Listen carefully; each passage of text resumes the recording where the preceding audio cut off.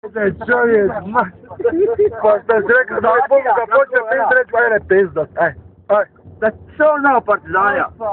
Stari je stvari, Pa njegov čača nije bio partizanja. Čača u partizanja.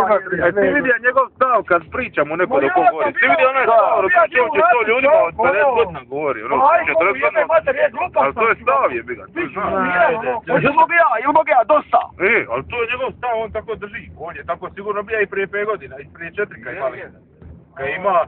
Ima 28 godina. Pa znam ja kao što ovi deki, oni, oni ne mogu na kraj, ono, svi ono, Ovo je drugi starešu stav. Ma, ajde. Ovo neki pandur piša. Šta napisa? Ate, ate si autotransport Šibenik. Ne da, moja ovo, vole. Je, je, je, pa tu, pa je onda kad se teraka 2 km, to je sad na dnu, ona okuka i onda ti... Dobro. Kao ona.